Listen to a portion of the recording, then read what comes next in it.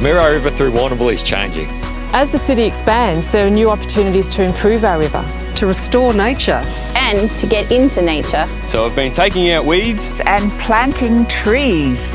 We're reducing the impacts of urban runoff by collecting and reusing roof water. And protecting our iconic landmarks. We're bringing back fish with new habitat. And we're making angling accessible for everyone. Our vision is a green corridor full of wildlife. With connections for both people and nature. Together we can create an amazing Merri River.